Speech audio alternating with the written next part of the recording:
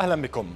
طالب مجلس الأمن الدولي أطراف الأزمة في اليمن بالوفاء بالتزاماتها بموجب القانون الإنساني الدولي والسماح الفوري وغير المشروط للمساعدات الإنسانية في كل أرجاء البلاد. الرئيس الدوري للمجلس السفير الصيني لي باو دونغ قال إن أعضاء المجلس أعربوا في جلسة المشاورات المغلقة عن القلق البالغ إزاء الأزمة المدمرة في اليمن لا سيما بعد تفشي وباء الكوليرا. في هذه الحلقة من زوايا الحدث نقف عند هذا الموضوع لنناقشه في محورين. هل تعيد التحركات الدولية المسار السياسي المتعثر؟ وما هو مستقبل الحل السياسي بعد هذه التحركات؟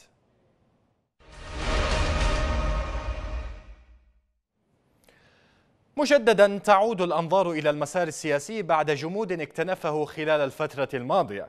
مطالبات عديدة للحل وإيقاف التدهور الكارثي للأوضاع الإنسانية.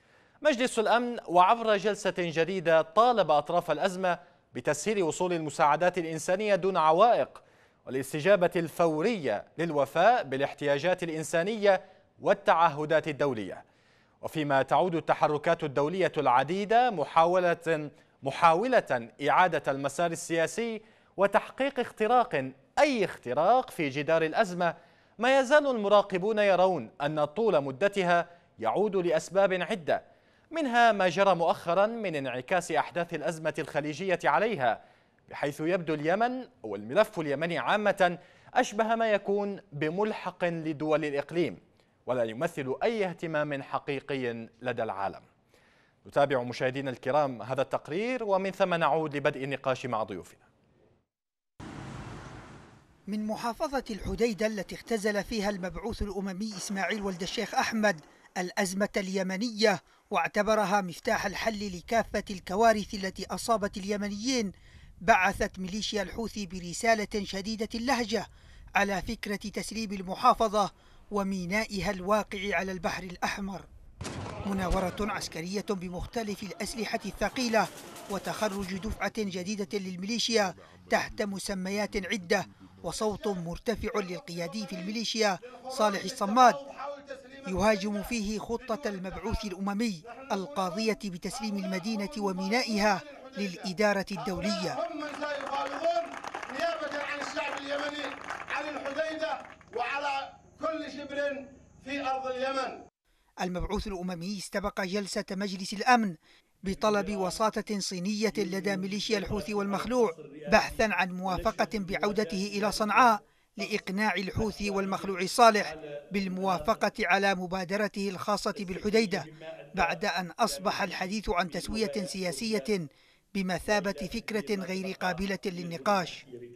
الجلسة التي عقدت مساء الأربعاء الماضي غاب عنها منطق السياسة وانشغل الجميع بالحديث عن التداعيات الإنسانية في محاولة للاستمرار في فصل السياسي عن الإنساني وهو ما لا يقبله المنطق باعتبار انهيار الوضع الإنساني نتيجة لاحقة للفشل السياسي. حشدت الأمم المتحدة كبار مسؤولي منظماتها المعنيين بالجوانب الإنسانية كالفاو والصحة العالمية ومكتب الأمم المتحدة لتنسيق المساعدات الإنسانية الذين قدموا صورة موزعة وموجعة عن الأوضاع الإنسانية المتدهورة في كافة الجوانب. انشغل الحاضرون بالحديث العاطفي وهو ما يعد استمرارا لنفس نسق جلسات مجلس الأمن الأخيرة بخصوص الملف اليمني ولم يتم مناقشة التطورات التي حدثت على الأرض واستمرار قصف وحصار المدن ومنع وصول المساعدات. تعطل المسار السياسي في المنطقة برمتها وانعكاس الأزمة الخليجية الخليجية على الأوضاع في اليمن ألقى بظلاله على الاجتماع الذي يكشف عن فقر الخيارات السياسية في اليمن. وتحولها لساحة حرب بالوكالة وتنفيس للصراعات في الإقليم في حرب يخسر فيها الفقراء وترتفع كلفة الحرب الإنسانية في بلد لم يعد يقوى فيه الناس على التقاط أنفاسهم.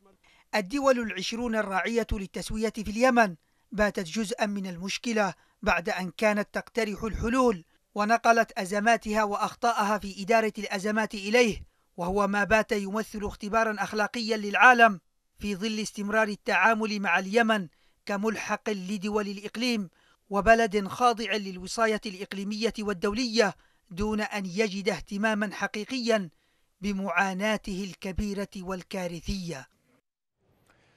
مجدد الترحيب بكم مشاهدينا الكرام. كما أرحب بمن انضم إلينا الآن من القاهرة الكاتب والمحلل السياسي الأستاذ علي الفقيه. أهلا بك أستاذ علي. أهلا وسهلا. حياك الله أستاذ علي. إذا هناك تحركات عديدة على ما يبدو لإعادة المسار السياسي. كيف تقرأ أنت المشهد في ظل جميع آه، هذه التحركات وفي ظل معطيات المشهد أيضا؟ أه تحية لك ولمشاهدي قناة بلقيس الكرام. أه أعتقد أنه التحركات هي في نفس الدائرة المغلقة التي يتحرك فيها الجميع منذ فترة ليست بالقليلة.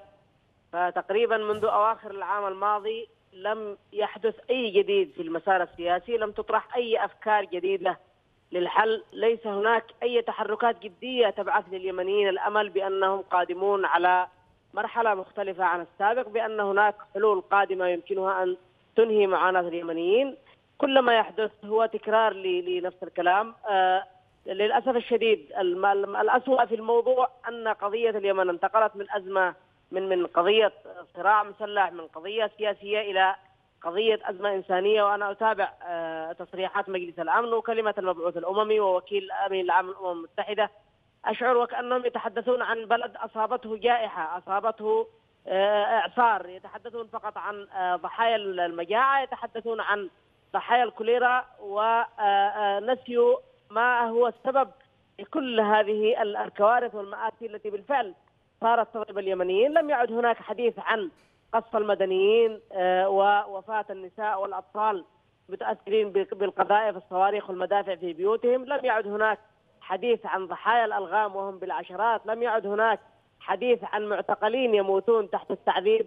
وبالتالي انصرف الحديث عن عن اليمن من قضية قضية صراع تسبب فيه الانقلاب وقضية سياسية بامتياز إلى قضية إنسانية يتحدثون فيها عن مساعدات هي أيضا لم تترك اثرا ايجابيا للتخفيف من الأزمة وإنما وكأننا صرنا مادة لعمل المنظمات الدولية العاملة في المجال الإنساني وبحثها عن تمويل بملايين الدولارات بينما في الواقع الشعب يعيش أزماته وحيدا دون سند.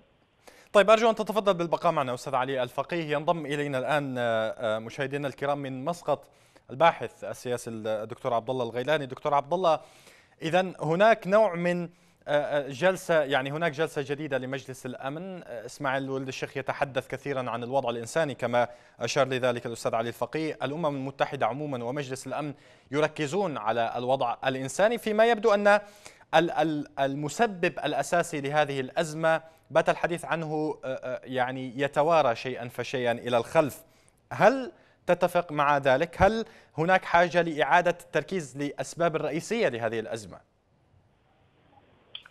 بسم الله الرحمن الرحيم مرحبا بكم جميعا وبالمشاهدين الكرام آه هذا الكلام آه أنا قلته منذ أمد بعيد منذ أن بدأ التدخل الدولي وتدويل القضية اليمنية وتحويلها إلى مجرد رزمة من الأوراق والملفات في ارض الامم المتحده آه هذا أمر يعني متوقع. صحيح أن الأزمة الإنسانية اليوم في اليمن ينبغي أن تحظى بأولوية بالغة. هناك أزمة إنسانية طاحنة وهناك وضع إنساني مأزوم يتأزم يوما بعد يوم.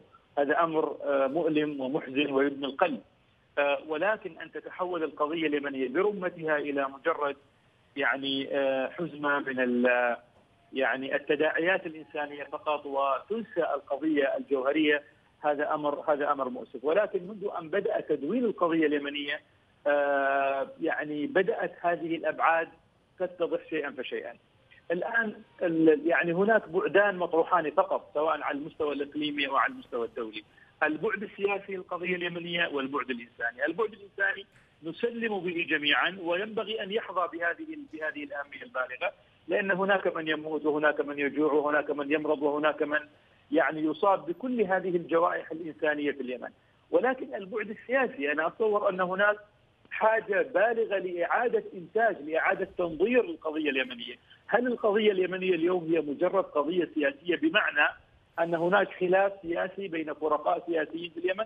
الأمر ليس كذلك ولكن هذا هو التنظير الذي تسعى الأمم المتحدة وتسعى بعض القوى الإقليمية إلى تصديره وإلى غرسه وإلى تكريسه حول القضية اليمنية، إنما هي مجرد قضية سياسية خلاف سياسي بين فرقاء وهذا الخلاف السياسي لا يحل إلا عبر يعني مشروع سياسي تفاوضي، صحيح في النهاية ينبغي أن يكون هناك حل سياسي ولكن هذا ال ال ال القضية اليمنية في جوهرها ليست قضية سياسية، لم تبدأ كقضية سياسية وبالتالي لا يمكن أن تنتهي إلى مجرد قضية سياسية بالمعنى الفني المتداول في المؤسسات الإقليمية والدولية. طيب آه، أرجو أن تتفضل بالبقاء معي آه، دكتور عبد الله. إلى الاستاذ علي الفقيه. أستاذ علي الآن هناك نوع من التحركات الدولية التي آه، استجدت بشكل ما. ربما الصين الآن تدخل بشكل أكبر في محاولة احتواء الأزمة ومحاولة ربما أيضا لعب دور جوهري في ذلك إجراء اتصالات عديدة بين عدد من الأطراف. هل سيسهم ذلك في وصول اليمن وسفينة الأزمة إلى بر ما؟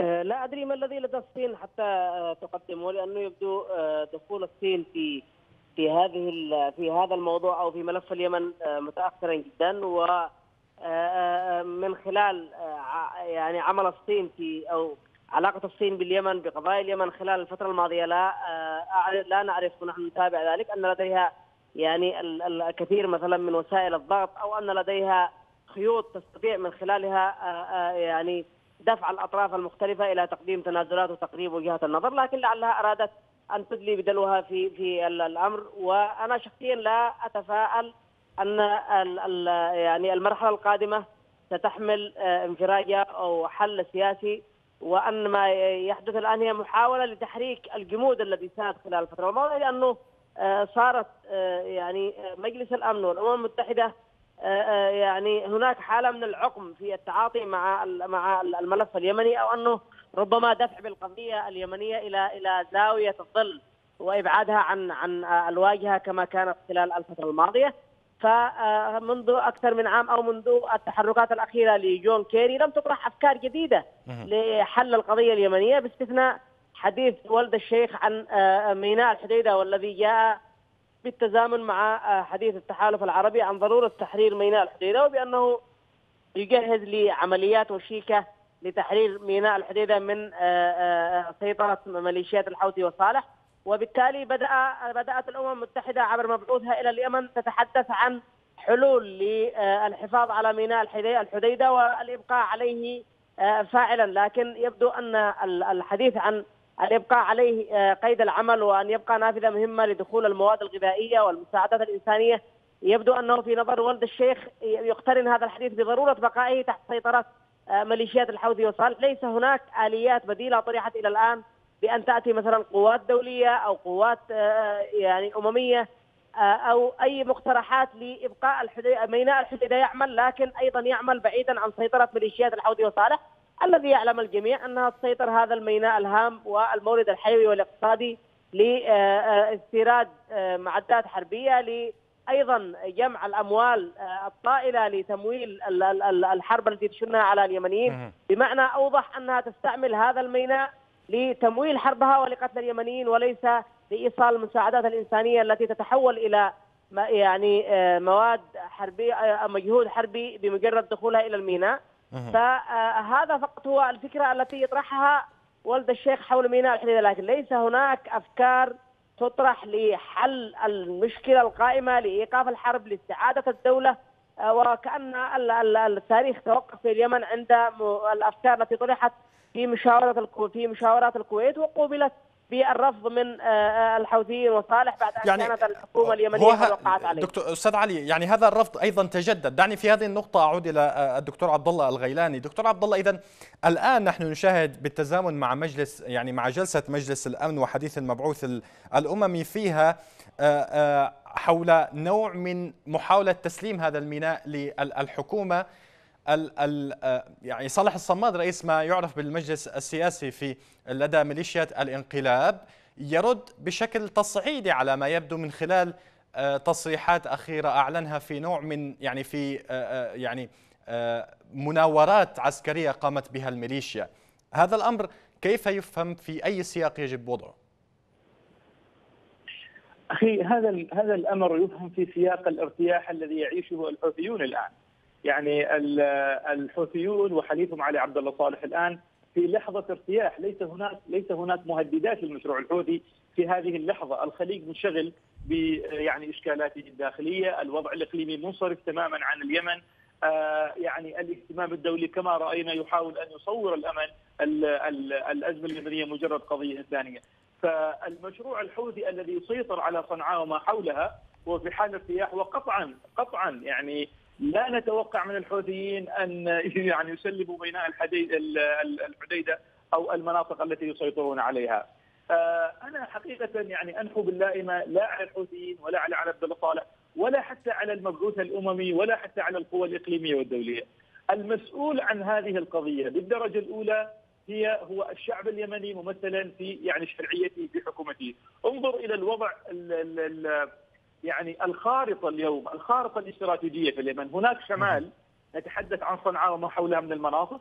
هذا الشمال مسيطر عليه من قبل الحوثيين وعلي عبد الله صالح سيطرة كاملة لا يكاد ينازعهم فيه أحد. آه، التحالف العربي اليوم متعثر وقد توقف عند أبواب تعز وليس هناك نية للتوغل أكثر. يعني هذا واضح جليا أن التحالف العربي لم يعد يملك آه، يعني رؤية سياسية أو رؤية استراتيجية لاختراق الحوثيين والمضي قدما في المقاصد التي قام من أجلها. آه، نلحظ حتى المناطق التي كانت بعيدة عن الاحتراق عن يعني اللهب لهب الحرب. منطقة المهرة مثلا. اليوم هناك صراع محتدم في المهرة آه، بين سلطنة عمان والإمارات والمملكه العربيه السعودية على النفوذ.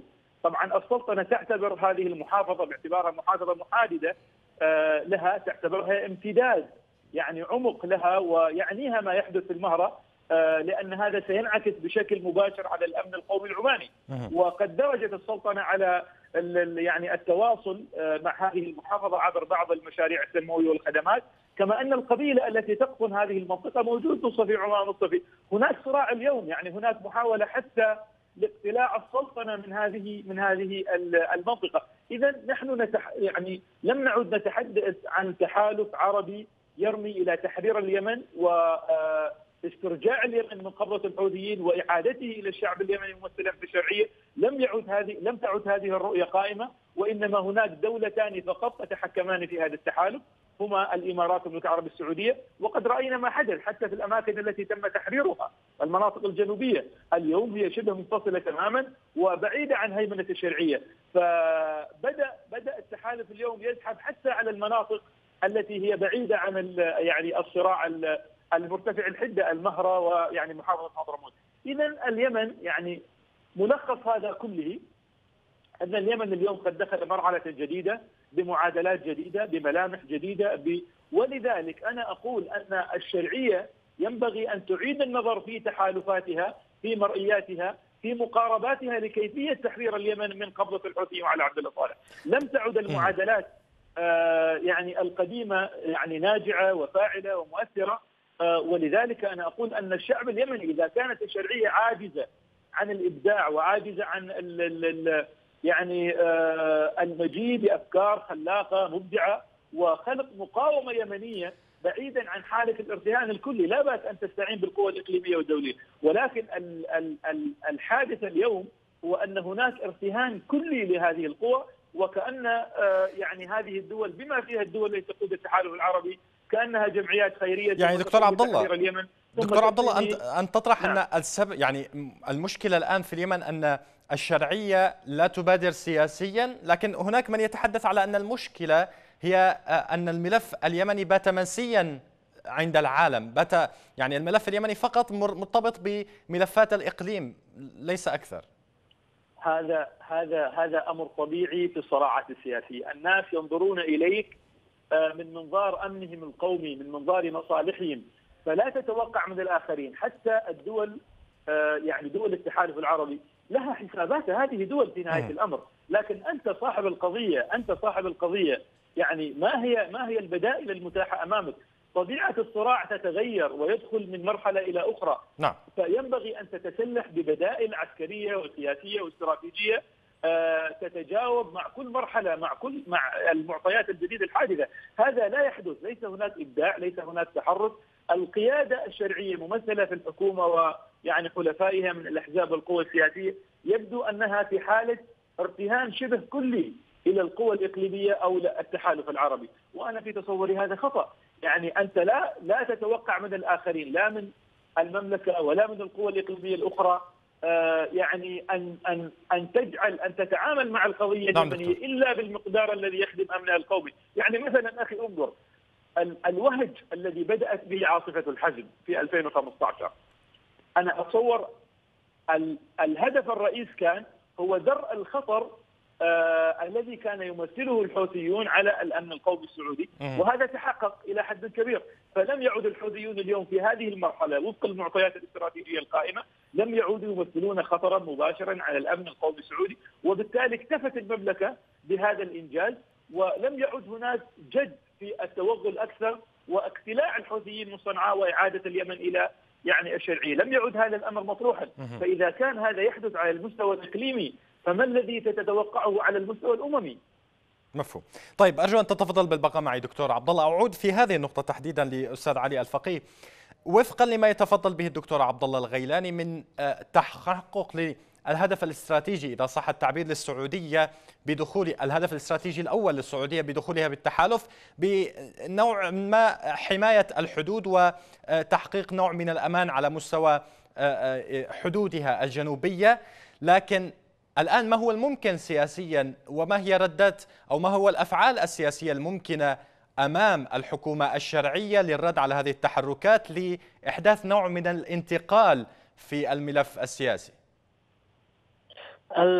الحكومة الشرعية آه، محتاجة إلى آه، آه، أداء مختلف عن الأداء الذي سيطر خلال الفترة الماضية. للأسف الشديد هم يتحملون جزء من المسؤولية عن الركود أو عن التأخر الذي حاصل سواء فيما يتعلق بالملف العسكري أو الملف الإغاثي أو الملف الاقتصادي كل هذه الملفات كان يمكن للحكومة أن تحرز فيهم أداء أفضل لو عملت بآليات أكثر كفاءة و بحركة أكثر خفة. أما آه، أن يعني تظل آه، آه، راكدة على هذا النحو وغائبة أيضا عن المناطق المحررة بشكل شبه كلي فهذا ما يفاقم المشكلة. مثلا عندما نتحدث عن ضرورة تحرير ميناء الحديدة. على الفور تذهب أذهان الناس إلى المناطق المحررة. هل تستطيع الموانئ التي تم تحريرها؟ آه، القيام بالدور الذي تقوم به ميناء الحديدة في حال أصبحت ميناء الحديدة آه، منطقة مواجهات وتعطلت لفترة زمنية معينة؟ للأسف الشديد لا تزال هذه يعني الأمور فيها تسير ببطء شديد. أيضا هناك آه، يعني إدارة هذه المرافق لا تنبئ عن نية لتفعيلها للقيام أو لتغطية الدور الذي تقوم به ميناء الحديدة الواقعة تحت سيطرة الحوثيين. وبالتالي لا تعفى الحكومة الشرعية عن المسؤولية مهما كانت الصعاب مهما كانت الظروف أمامها إلا أنها تظل المسؤول مسؤولة بشكل مباشر عن آه، إدارة الملفات الإنسانية وملف أيضا تسويق القضية اليمنية والتذكير بها كقضيه الأساس قضية انقلاب والإطاحة بدولة وليست فقط مجرد بلد أصابته جائحة الكوليرا. هذه آه، آه، مهمة كبيرة جدا أمامها. أما المبعوث الأممي فهو آه، يراوح في نفس المكان ولن يأتي بجديد إذا لم يكن هناك أداء فاعل من الداخل. أيضا إذا لم يكن هناك تغير في الأداء العسكري حتى تفرض على الناس معطيات جديدة. ركود الجبهات العسكرية أيضا يعني يلقي بظلاله على الجوانب نعم. السياسية وتحريك الملف اليمني في المرافق الأممية. إذا أشكرك الكاتب والمحلل السياسي الأستاذ علي الفقيه كنت معنا عبر الهاتف من القاهرة. بعودة أخيرة إلى الدكتور عبد الله الغيلاني. دكتور عبد الله ما هو الممكن الآن آه، لأن نرى أو ما المتوقع أن يحدث على المستوى السياسي خلال الأيام القليلة القادمة؟ آه، أنا لا أتوقع أن يحدث هناك آه، شيء ذو جدوى. كل هذا الحراك السياسي هو حراك شكلي سواء على المستوى الإقليمي أو على المستوى الأممي. وبالتالي سوف يبقى الملف اليمني كما هو عليه الآن. والخشية كما يعني أسلفت قبل قليل أن يتحول إلى مجرد حالة إنسانية يتم التعامل معها باعتبارها هكذا. حتى يعني تدب الحياة مرة أخرى في الملف اليمني. أنا يعني أدعو حقيقة القوى الحية في الشعب اليمني أه أن تبادر إلى إلى إلى مراجعة التجربة كاملة سواء تجربة التحرير العسكري، التجربة السياسية، يعني كل ما يتعلق بإدارة هذه الأزمة منذ أن بدأت آه، في سبتمبر 2014 وإلى هذه اللحظة. المسألة تحتاج إلى إعادة نظر كلي وبالتالي الخلوص إلى بلورة رؤى آه، يعني قابلة للتطبيق والخروج من حالة الارتهان إلى القوى الإقليمية، القوى الإقليمية كما قلت لها حساباتها، لها أولوياتها، الكتلة الخليجية الآن منصرفة تماما ومنخرطة في صراع داخلي وبالتالي هناك تراجع للقضية اليمنية. وحتى في داخل هذه الكتلة لا توجد هناك رؤية سياسية وهذا الكلام قد قلناه مرارا. الذي يقود في التحالف العربي اليوم هم المملكة والإمارات فقط. وسائر الدول وجودها تحول إلى وجود رمزي. أما نعم. القوى الدولية كالولايات المتحدة وإيران مثلا فهذه لها حساباتها. وبالتالي أنا أتصور أن الكرة الآن في ملعب الشعب اليمني وهو شعب عريق لا ينقصه شيء لا ينقصه العدد ولا العدة ولا التجربة ولا الشجاعة ولا الإقدام ولا الموارد. هذا شعب يستطيع يستطيع أن يواجه هذه السلة هذه العصابة من الحوثيين وأن يعيد اليمن إلى ما كان عليه وأحسن. ولكن عليه أن يأخذ زمام المبادرة وعليه أن لا يعني يبقى مرتهنا إلى الحل الإقليمي وأن لا يعول كثيرا أيضا يعني هذه الحكومة ينبغي أن يعني تدب فيها الدماء وتدب فيها الحياة وتخرج من حالة الارتهان وتبلور رؤية يمنية آه، يعني خالصة ولها بعد ذلك أن تستعين بالاخرين، لكن أن يبقى اليم يعني الحل حل نعم. الازمه اليمنيه اسيرا للقوى الإقليمية والدولية فأنا أظن هذا لن يقود إلى شيء بجدوى وبالتالي لا نتوقع حراكا حقيقيا جوهريا في الأيام المقبلة. أشكرك آه، الباحث السياسي الدكتور عبد الله الغيلاني. كنت معنا عبر الهاتف من مسقط. شكرا جزيلا لك. كما والشكر موصول لكم مشاهدينا الكرام على حسن المتابعة والإنصات. في ختام هذه الحلقة تقبلوا تحياتي أنا والزملاء في طاقم العمل. إلى اللقاء.